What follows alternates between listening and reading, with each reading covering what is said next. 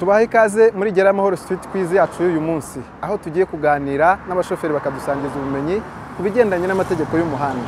Kunyuranaho bikorerwa muri uru ruhande. Kunyuranaho bikorerwa ibumoso. Ese n'ibyari bishobora gukorerwa iburyo?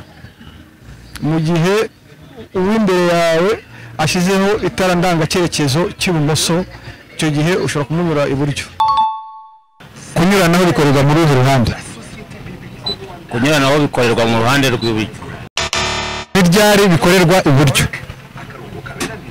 Igihe uri mu gihe cy'umuhanda umanyaguye.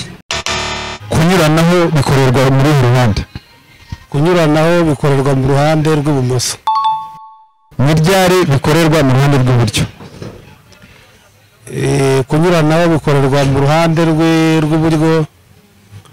Iyo mugenzi wawe uri imbere ashaka gukata mu kindi cyerekezo. Kunyuranaho bikorerwa muri uru ruhande. Kunyuranaho bikorerwa mu ruhande rw'ibumoso. N'ibyari bishobora gukorerwa iburyo Ah, ni igihe nta gihe bishobora gukorerwa iburyo nk'uko mumaze kubibona abashoferi twaganiriye baduhaye ibisubizo bigendanye n'ubumenyi bwabo. Bimwe ni ukuri ibindi ntabwo ari ukuri. Ariko ibisubizo by'ukuri ni ibi ngibi.